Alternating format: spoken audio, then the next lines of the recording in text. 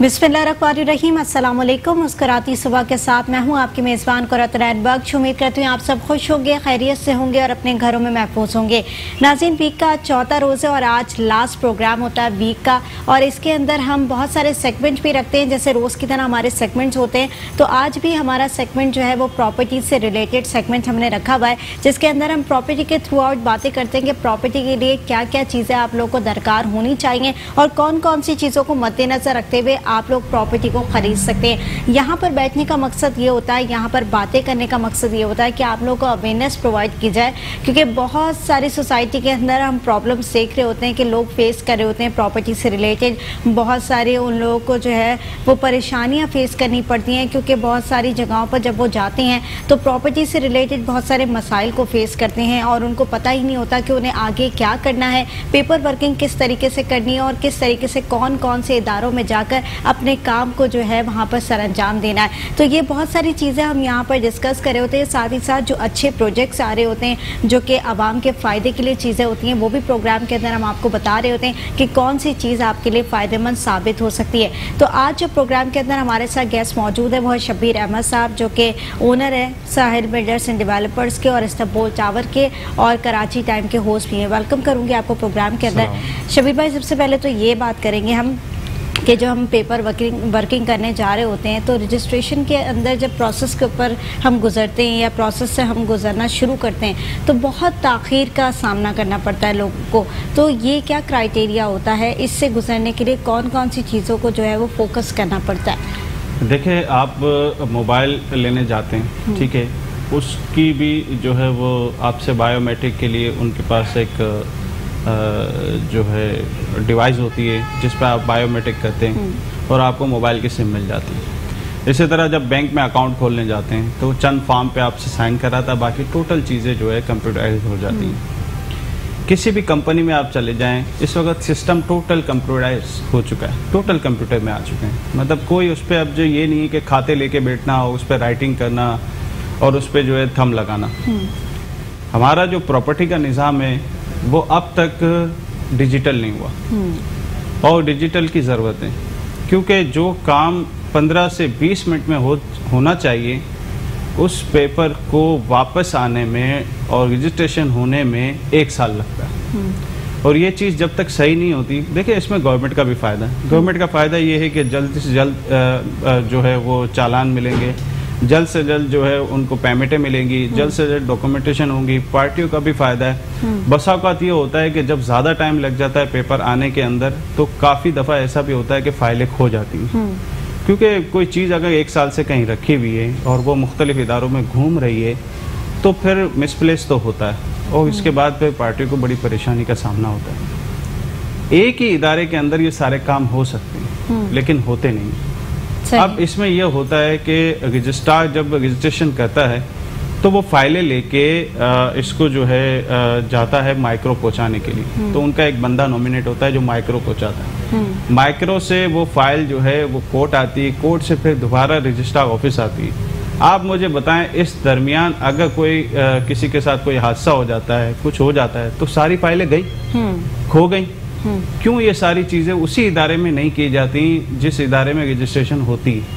आखिर ऐसा क्या प्रॉब्लम है? तो ये मतलब अब हुकूमत को समझना चाहिए कि इन चीज़ों को जो है डिजिटल डिजिटल में लाएँ और इसको ये बायोमेट्रिक इतना कोई मुश्किल काम नहीं है। अब तो सारी कंपनियाँ छोटी से छोटी जो है वो आप अगर सिम भी लेने जाते हैं तो, तो बड़ा इजी बायोमेट्रिक काम हो जाता है। लेकिन आ, समझ नहीं आती कि क्यों इसको मुश्किल बनाया हुआ। तो आप क्या समझते हैं क्या रीजंस आपके सामने आ रहे हैं कि इन दुश्वारियों के नतीजे में जो है वो इतना मुश्किल प्रोसेस किया हुआ है लोगों के लिए? क्या इनको मज़ा आता है लोगों को ख्वार करने के अंदर? क्योंकि इदारे इतने सारे बन चुके हैं। अगर हम इदारों की तरफ़ से जो है ना तो। ध्यान नहीं है इसमें। हम्म। हुकूमत इस इस चीज़ को जो है ना ध्यान में नहीं ला रही। कि ये जो मुश्किल हो रही है मुश्किल आसान हो। इसी तरह तो कोई बिल्डर अगर इदारे इतने सारे बन चुके हैं कि लोग परेशान हो चुके हैं कि किन इदारों में जाएँ किन इदारों में फेस करें किन इदारों से बात करें जाकर और किन किन प्रोसीजर से गुजर कर हमारी फ़ाइल रजिस्टर्ड होगी। फिर रजिस्टर्ड का प्रोसेस अलग उसके बाद दीगर प्रोसेस से गुजरना पड़ता है। तो एक बहुत बड़े मराहल हैं जिनसे गुजरना पड़ता है वहाँ देखिए वहाँ पर मुख्तलिफ़ ये होता है कि आपकी पहले रजिस्ट्रेशन हुई फिर आरडी नंबर दिया जाता है वो माइक्रो का नंबर होता है फिर मुख्तलिफ़ मतलब वो अपनी नंबरों से फाइलों को तलाश करते हैं। क्यों इतना मुश्किल बनाया हुआ? बिल्कुल इजी कर दें। जो रजिस्ट्रेशन हो रजिस्ट्रेशन हो उसी वक्त उसकी फ़ाइल उसके हाथ में दे दें। ना झंझट हो ले जा, ले जाने की ना स्टाफ को इतना आपको जो रकम देनी पड़े। एक ही इदारे में सारी चीज़ें हो जाएँ। मुश्किल तो होगी नहीं। अब इस पर ध्यान गवर्नमेंट देगी तो फिर ये काम आसान होगा। वो तो सारे इदारों पे ध्यान देने की ज़रूरत है क्योंकि पूरे के पूरे अगर हम इदारों की बात सबसे करें ज़्यादा सिस्टम जो ना हाँ, प्रॉपर्टी का ही बिगड़ा हुआ है। बिल्कुल और अगर हम सारे इदारों की बात करें तो बड़ा जो है ना सिस्टम करप्ट हुआ हुआ इस वक्त और सिस्टम को जो है बैलेंस नहीं किया हुआ कहीं पर भी। अब आम जब जाती है तो बड़ी परेशान होकर निकलती है वहाँ से और फिर उसके बाद वो कहती है ना एक जगह पे गुजरे फिर दूसरी जगह से गुजरना पड़ता है फिर उसके बाद वहाँ पर परेशानी। कोई सही से गाइड करने वाला भी मौजूद नहीं होता। एक होता है ना कि बंदा वहाँ पे गाइड कर दे कि आपको इस इधर जाना चाहिए फ़ाइल की चेकिंग आपकी यहाँ पर होगी या यहाँ से आपको ये प्रोसीजर से गुजरना पड़ेगा। लेकिन वहाँ पर गाइड भी इस तरीके से किया जाता है कि वो सारा दिन उस बिल्डिंग के चक्कर ही लगा रहे होते हैं। कोर्ट के ऑर्डर जो नस्ला टावर के हवाले से हैं तिजोरी हाइट के हवाले से हैं दूसरे जो अपार्टमेंट आ रहे हैं उनके हवाले से कोर्ट के ऑर्डर अपनी जगह पे ठीक है। लेकिन पिछली जो गलतियाँ जो इदारों ने की हैं वो अगर ये सिस्टम बेहतर होता तो आज नस्ला टावर भी बनता ही नहीं। हम्म। और दूसरे जो तिजोरी हाइट है वो भी नहीं बनता। अगर पेपर वर्किंग सही होती तो ये काम होता ही नहीं। बिल्कुल। तो यानी यही वाली बात है ना कि गैर कानूनी काम को ज़्यादा फोकस किया जाता है। लेकिन होप की जा सकती है कि अब जो सुप्रीम कोर्ट एक्शन लेने जा रही है, उससे स्ट्रॉन्ग जो है वो नतज सामने आए मुस्बत नतज सामने आए लोगों के लिए।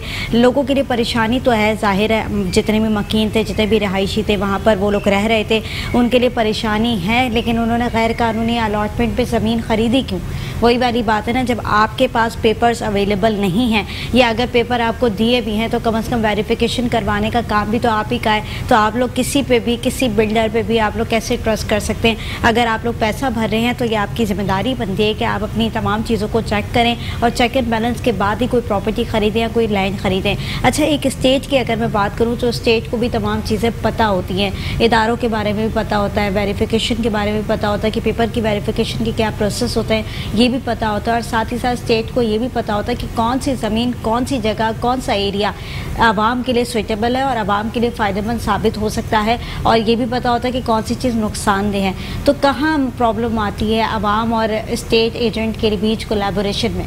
देखिए रियल एस्टेट सेक्टर में हर आदमी इतनी वेरिफिकेशन में जाता नहीं है। हम्म। वो ज़्यादातर देखता है कि बिल्डर जो है वो रिलायबल है तो उससे वो काम करता है। हम्म। अब जब बिल्डिंग बनने लगती है इमारत तामीर होने लगती है स्ट्रक्चर बनता है और कोई इदारा ना उसको तोड़ने आता है ना उसको कोई ऑब्जेक्शन लेने आता है तो उस वक्त जो रियल इस्टेट एजेंट है वो क्या समझेगा? वो यही समझेगा ना कि अब तो सारी चीज़ें क्लियर हैं। अगर उसको उस वक्त इदारे रोक लेते तो रियल इस्टेट एजेंट उसको सेल ही नहीं करता। हम्म। तो ये तो उसको जो चीज़ें दिखाई जाती हैं और जो चीज़ें जो अब बिल्डर जब बिल्डर धोखा खा सकता है उसको पेपर गलत मिल सकते हैं। वो अगर जो है बिल्डिंग उस पर बनाता है उसके साथ जो अगर धोखा हुआ है तो धोखा तो दिया इदारों ने ना? नहीं तो बिल्डर धोखा कैसे खा सकता है? बिल्डर एक ज़ाहिर है कोई भी बिल्डर होगा या कोई भी अपनी लैंड ले रहा होगा या वहाँ पर कंस्ट्रक्शन करवा रहा होगा तो उसके लिए तो बड़ा प्रोसीजर होगा एक एक- बहुत बड़ा प्लान लेके चल रहा अगर होगा। अगर उसने धोखा नहीं खाया तो उसने वो बिल्डिंग कैसे बना ली? कौन था इसके पीछे? तो क्या बिल्डर को इतनी समझ नहीं थी कि तो जब मैं तो लैंड खरीद रहा हूँ तो मैं जाके उसकी वेरिफिकेशन करा लूँ? क्योंकि इससे मुंसलिक बहुत सारे लोग भी मौजूद हैं उसके साथ कि अगर ये सेल आउट होगा तो बहुत सारे लोग उससे लिंक कर रहे हैं। तो उसका ये फ़र्ज़ बनता था कि कम अज़ कम जो पेपर उसने ख़रीदे हैं उसकी जो लैंड की ज़मीन उसके पास मौजूद है उसकी वेरिफिकेशन करवा दी। देखिए सबसे पहले तो ये है कि प्लॉट जितने भी इस वक्त कराची के अंदर हैं उसकी कोई भी नंबरिंग वेरिफिकेशन नहीं अच्छा। अगर नंबरिंग वेरिफिकेशन होगी तो ये काम मुश्किल नहीं होगा। हम्म। मिसाल के तौर पे कि एक लिस्ट जारी होती है कि भाई ये ये लैंड जो है ये क्लियर है। सही। तो फिर अ, उसमें कोई भी फ्रॉड हो नहीं सकता। सही। लेकिन यहाँ समझ नहीं आती कि यहाँ पर जो है अ, जो है केएमसी की सोसाइटी में प्लॉट बनते हैं। बाद में बोर्ड ऑफ़ रेवेन्यू आ जाता है कि हमारी ज़मीन है। हम्म। उस पर के का भी दावा आ जाता है। हम्म तो ये सब मिलके एक इदारा बन जाएँगे तो फिर ये मुश्किल नहीं आएगी। अच्छा मैंने देखा है कि सबसे ज़्यादा प्रॉब्लम इन्हीं रेशों में आती है। यानी जितने भी प्रॉपर्टी के इश्यूज़ होते हैं वो सिर्फ़ इन्हीं इदारों से घूमते हुए आ रहे होते हैं क्योंकि लोग इतने ज़्यादा परेशान हो चुके हैं और अब तो वाकई लोग जो है ज़मीन खरीदने से घर खरीदने से बड़े डरते हैं। कराची के लोग हाँ। खौफ में आ गए हम्म। कि हम अगर कोई प्लॉट लेने जा रहे हैं कोई फ्लैट लेने जा रहे हैं तो किस तरह खरीदें? या बहुत तो, सारे प्लॉट्स के तो डबल फ़ाइल भी निकल तो आती के बाद दीगर जो है हर बिल्डिंग पे ऑब्जेक्शन आ रही है कोर्ट के ऑर्डर आ रहे हैं कि भाई ये जो है ठीक नहीं है इसको तोड़ा हम्म। जाएगा। तो आवाम तो खौफ में आ गई है कराची की।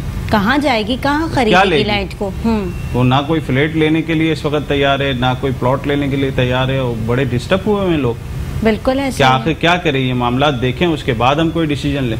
तो आप क्या समझते हैं इसका सॉल्यूशन क्या होना चाहिए? सोल्यूशन शफाफ होना चाहिए। अगर शफाफ तरीके से प्रॉपर्टी की लिस्टिंग हो जाती है तो फिर ये मामला नहीं आएँगे। और दूसरा ये है कि जब तक एक फॉर्मेट नहीं दिया जाता मिसाल के तौर पे कि एक लैंड है जमशेद रोड पे ठीक है? जमशेद रोड पे एक वो पॉलिसी बना दे कि अगर हज़ार गज का कोई प्लॉट बनाता है तो उसकी हाई राइस इतनी होगी इसकी एसओपी ये होगी। एक फिक्स कर दें। हम्म। अब हर प्लॉट के लिए बार बार उसकी जो है परमिशन लेना ये क्या है? हम्म। ये तो एक अजीब बात हो गई ना। अगर लिस्ट जारी हो गई तो ना किसी को एसपीसी जाना पड़ेगा ना किसी को कोई अप्रूवल लेनी पड़ेगी। एक इदारा दे दें कि उस इदारे से सारी वेरिफिकेशन और सारी चीज़ें एक साथ हो जाएँ। सही। वो अपने चालान भरें और अपनी बिल्डिंग बनाना शुरू करें। तो आप नहीं समझते अगर एक इदारा बन जाएगा तो लोगों के लिए आसानी तो हो जाएगी लेकिन हुकूमत के लिए परेशानी हो नहीं हुकूमत के लिए कोई परेशानी नहीं। या इदारों के लिए परेशानी हो जाएगी। इदारों करप्ट देखें अगर ये शफाफ तरीके से काम होगा तो करप्ट लोग काम नहीं कर सकेंगे। हम्म। अगर मजबूती होगी चेकिंग बैलेंस होगा तो करप्ट लोग काम ही नहीं कर सकेंगे। हम्म। फिर अच्छे लोग आएँगे। फिर जो जो आपको मिलती है रिश्वतें देके वो आपको मेरिट हम्म। पे मिलेगी। हम्म। जब कोई ये समझ लेगा कि भाई हुकूमत ने इतने इकदाम ले लिए कि अब यहाँ रिश्वत नहीं मिल सकती तो आएगा अच्छा ही आदमी ना जिसको जो भी करनी होगी वही आएगा। सही। लेकिन बहुत सारे लोग मैंने ऐसे देखे हैं जो कि इदारों के अंदर जाते हैं लेकिन उन्हें इदारों के अंदर मुतमिन नहीं किया जाता। बहुत सारी जगहों पर मैंने ऐसे भी देखा जैसे के डी के इदारे की अगर मैं बात करूँ तो वहाँ पर तो फाइलों के डेटा ही मौजूद नहीं होते। सिस्टम ऐसा बना हुआ है कि आप जाएँ किसी इदारे में कोई वेरिफिकेशन करने तो ये कहा जाता है फलाने साहब के पास चले जाओ। हम्म। फिर फलाना साहब कहता है फलाने के पास चले आप पांचवे फ्लोर पे चले फलाने के हाँ। फलाने के पास चले जाओ। यानी फ्लोर पे चले जाओ। खुद को भी नहीं पता जो इधारे में बैठे पास क्या काम क्या ये मसला हम्म। कौन सोल्व करेगा? बिल्कुल। एक कॉलर हमारे साथ मौजूद है। जी कौन और कहाँ से बात करें? हेलो? हेलो सलामकुम वालेकुम। अस्सलाम जी कौन और कहाँ से बात करें मैडम मैं ये कहना चाहता हूँ एक बिल्डिंग अनलीगल होती है हम्म। उसको तोड़ के जाते हैं इसके पिलर तोड़ के जाते हैं सात आठ मंजिला बन जाती है। कल्यारी हम्म। से बात कर रहा हूँ यहाँ भी इसी तरह हो रहा है। कि बाद में वो बिल्डिंग लीगल बन जाती है ठीक है ना? ठीक है। वो कह रहे हैं कि गैर कानूनी ज़मीन की अगर हम बात करें वहाँ पर बिल्डिंग बन जाती है इलीगल लैंड के ऊपर। बिल्डिंग बन जाती है उसके बाद वो तोड़ के उसे चले जाते हैं। उसके बाद फिर उस पर बिल्डिंग बन जाती है और वो लीगल हो जाती है। क्यों? वो होता ये है कि बसाओ का जो एस के लोग जो हैं वो इसको तोड़ते हैं हम्म। और कोर्ट के अंदर ये पेपर दिखा देते हैं कि हमने इस बिल्डिंग को तोड़ दिया। हम्म। फिर वही यानी यहाँ पर भी घपला चल रहा होता फिर वहाँ पर भी जो है ना करप्शन किया जाता है हम्म। और फिर जो है वो दोबारा बनती है। तो इसका मतलब जिसने पहले तोड़ी थी, वो गलत था या दोबारा बनाने वाला गलत था तो ये करप्ट देखें, करप्शन है तो वो बिल्डिंग दोबारा बनी है हम्म। करप्शन नहीं होता तो वो दोबारा बनती ही नहीं। लेकिन इनका मुझे सवाल बड़ा वैलिड लगा कि अगर एक इलीगल लैंड है और अगर उसको तोड़ दी जाती है और उसके बाद वहाँ पर दिख शो भी कर दिया गया सुप्रीम कोर्ट में भी दिखा दिया या जगहों पर जो जो इदारे हैं वहाँ पर शो कर दिया कि भाई ये इलीगल लैंड थी और हमने तोड़ दिया इसे और यहाँ पर जो भी तामीर हुआ हुआ था वो सब खत्म हो चुका है। उसके बाद दोबारा उस लैंड के ऊपर तामीर कर देना आप ये देखें पब्लिक का एतमाद हम्म। इदारों पे करप्ट इदारों पे कि उनको पता होता है उनके मोहल्ले में ये बिल्डिंग टूटी है। हम्म। बनने के बाद पब्लिक फिर खरीद लेती है। बस कहीं कहीं कोताहियाँ हमारी तो, आवाम की भी हैं तो करप्शन का एतमाद देखें कि पब्लिक हम्म। का भी एतमाद आ गया है कि ठीक है दोबारा बन गई अब नहीं टूटेगी। हाँ। फिर उसके बाद दूसरे इश्यूज़ आ जाते हैं कि फैमिली रह रही है दरअसल बात शबीर भाई ये भी तो है कि बात यह है कि लोगों के इमोशन से खेला जाता है ना। वही चीज़ आप सस्ती करके दे देंगे तो लोगों को ये लगेगा कि भाई इस महँगाई और गुर्बत के दौर में अगर अपना घर बन रहा है अपनी छत मिल रही है सस्ते पैसों में तो कौन नहीं लेगा के ने एक पॉलिसी हम्म। बनाई। जैसे नाजाबाद की एक पॉलिसी है गिरोन प्लस टू से ज़्यादा नहीं बनेगा। हम्म। लेकिन आप देखें फोर एनओसी तो छह छह की भी बनी हुई है। हम्म। ठीक है ना? अच्छा फिर हुआ ये कि प्लॉट के रेट जो है वो जहाँ पर प्लॉट मिलता था दो करोड़ रुपए का वो प्लॉट चार करोड़ रुपए का हो गया।